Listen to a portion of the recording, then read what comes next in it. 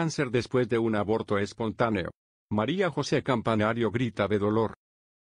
María José Campanario está transitando uno de los momentos más felices de su vida. Está en el sexto mes de su tercer embarazo, y aunque la noticia no la esperaban ni los propios padres, es evidente que toda la familia está feliz. Sin embargo, todo el mundo se pregunta por la odontóloga, pues desde que anunciaron con Jesulín de Ubrique la llegada de su tercer hijo brilla por su ausencia. Ha sido prácticamente imposible fotografiar a María José Campanario hasta hace algunos días.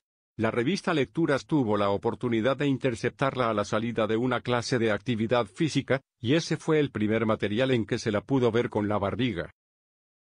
La mayoría de las celebrities aprovecha este tipo de momentos para posar más que nunca, ya que es ahora cuando todo el mundo quiere saber de ella. Sin embargo, parece que sus intenciones son otras. El 7 de febrero fue la última vez que María José Campanario se comunicó con un reportero. El destinatario del mensaje fue alguien perteneciente al portal ABC, y la intención de la madre de Julia Janeiro era contundente, quiso dejar claro que no hablaría más del embarazado para preservarse. En ese momento, el texto parecía exagerado y de un nivel de victimización que no comprendíamos, pero es evidente que el tiempo ha puesto las cosas en su lugar, y que lo que antes parecía un sinsentido era una verdadera estrategia digna de una profesional de los medios. La enemiga de Belén Esteban fue muy criticada por la edad a la que se quedó embarazada, y ese detalle fue hasta tomado en broma. Esta fue una de las razones por las que María José buscó protegerse, pero también porque en cierto modo sus 43 años representan algo de riesgo para el curso normal del embarazo.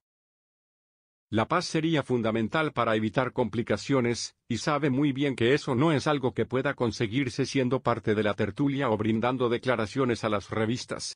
Sin embargo, hay otra explicación a su estrepitosa salida de la agenda mediática. Quienes no simpatizan demasiado con María José Campanario, creen que ha decidido resguardarse para aumentar las expectativas de su vida privada, y regresar por todo lo alto con una entrevista exclusiva cuando ya tenga a su retoño en brazos. La realidad es que esa posibilidad no es remota, si tomamos en cuenta que muchas otras madres de la escena artística lo han hecho. No obstante, la única manera de probarlo será cuando llegue ese momento, y para que eso suceda no queda más que esperar.